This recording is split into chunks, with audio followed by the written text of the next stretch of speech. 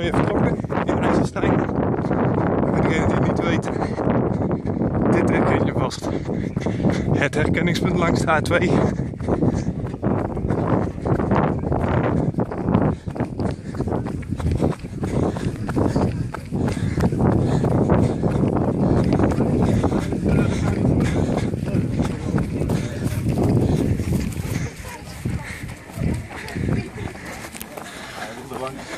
Ja, als je melk zegt, als je bij Verwijk, dat weten ze.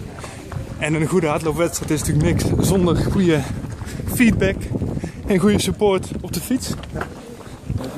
EHBO, als iemand eh, onwel wordt. De bezemfiets. De bezemfietsen, hè? we kennen onszelf.